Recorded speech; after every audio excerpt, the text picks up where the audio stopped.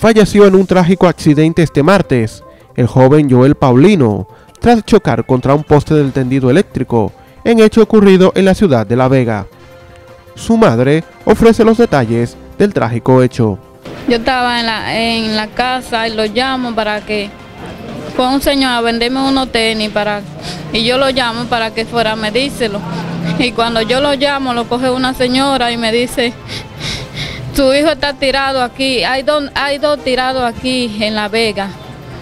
Digo, yo no me asuste, dice ella, sí, están aquí tirados, hay uno muerto, digo yo, ¿cuál es que está muerto? Que andaba manejando el motor. Ya yo sabía que era mi hijo.